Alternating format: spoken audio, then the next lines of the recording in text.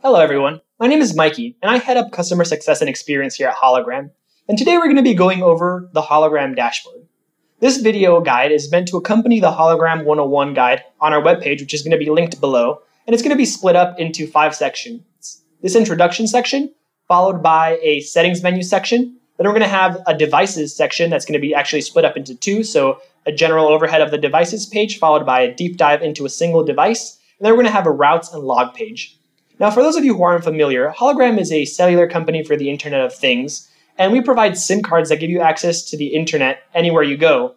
And all of that information is tracked through the Hologram dashboard. So this guide is going to help you walk through all of that and show you all the things that you can do, ranging from pausing your devices and enabling tunneling for a virtual private network to messaging your devices through our cloud messaging system or SMS.